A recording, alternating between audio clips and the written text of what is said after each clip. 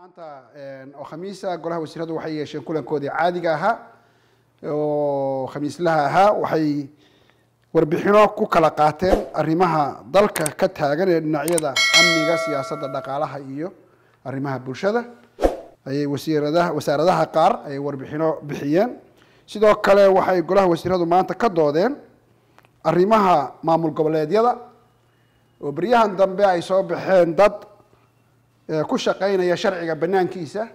ummaddana been u sheegaya marmarka qaarkood been u fasiraya.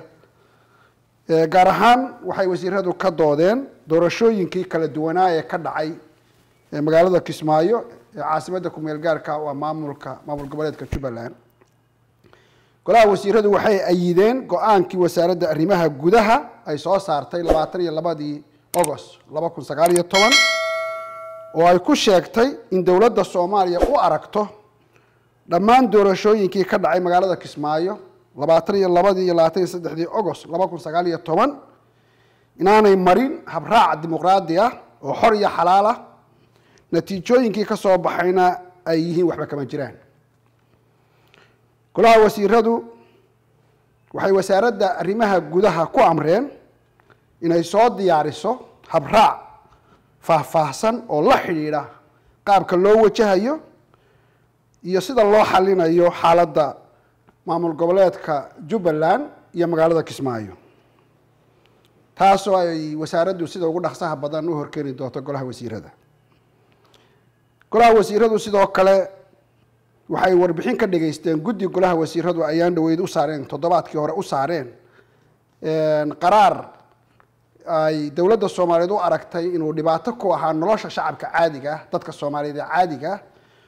oo la horgeynayay golaha amniga ee qaramada midoobay oo qaraarkaasoo nambarkiisu ahaa labayo toban lixdan iyo toddoba oo alxamdulilah lagu guuleystay in dowladda soomaaliyeed iyo dowladaha saaxiibka laahi u arkaan qaraarkaasi inuu dhibaato ku yahay shacabka soomaaliyeed. Dabadeedna la joojiyey oo la celiyey oo golahu aanu laga celiyey dowladda soomaaliyeed waxay mahad ballaaran u jeedinaysaa dowladaha saaxiibka ah ee ku taageeray dowladda soomaaliya dib u celinta qaraarkaas oo sidaan sheegay waxyeello u geysan lahaa nolosha shacabka soomaaliyeed ee muddada badan dhibaataysnaa dowladda soomaaliyeed waa dowladda geeska africa marka la dhaho dagaalka ugu adag kula jirta kooxaha nabaddiidka iyo argagixisada